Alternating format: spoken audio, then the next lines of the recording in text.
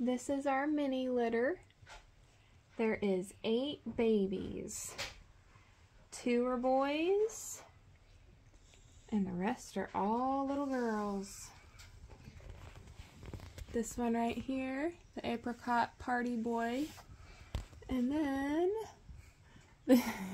this little guy is our chocolate party boy.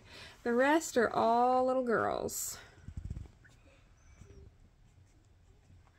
This is the girl, the black with the phantom on her. We got the tuxedo girl right there. Phantom girl.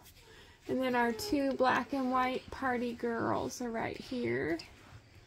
And little apricot girl. Here we go.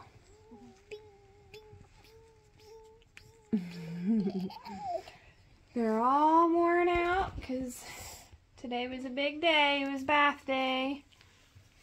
Got a couple here that are not quite ready to bed down.